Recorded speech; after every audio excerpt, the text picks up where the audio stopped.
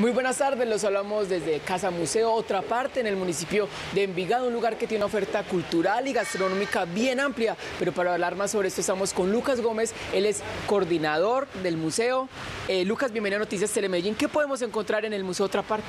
Eh, buenas tardes, eh, la Casa Museo tiene una variada oferta cultural, es una casa museo donde las personas pueden disfrutar de cine, tertulias, tenemos presentaciones literarias, tenemos inclusive actividades lúdicas. Hablemos un poco del ciclo de cine que tienen en el museo, ¿en qué consiste?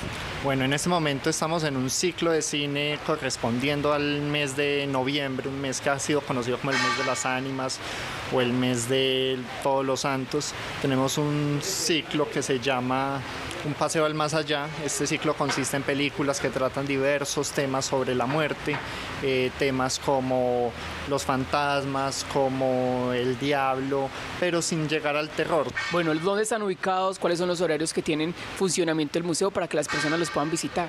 Bueno, nosotros estamos sobre la Avenida del Poblado o Avenida Fernando González acá en Envigado. Nos pueden encontrar de lunes a viernes de 8 de la mañana a 8 de la noche, sábados y domingos desde las 9 de la mañana hasta las 5 de la tarde. Los festivos no abrimos, pero sí mantenemos programación cultural casi todos los días.